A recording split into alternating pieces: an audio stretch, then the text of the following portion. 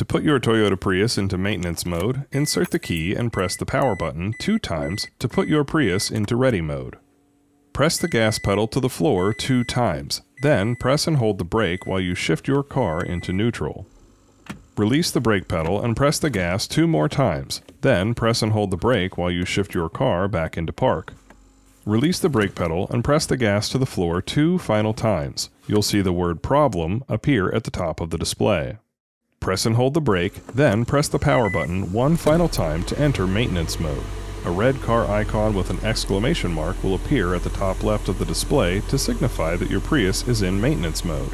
The gas motor in your Prius will run continuously so you can do things like bring the engine up to temperature for bleeding or burping air bubbles from the coolant system. To exit maintenance mode, simply turn off the car. For more Prius tips, watch this video to learn how to reset the maintenance light on your Prius after doing an oil change.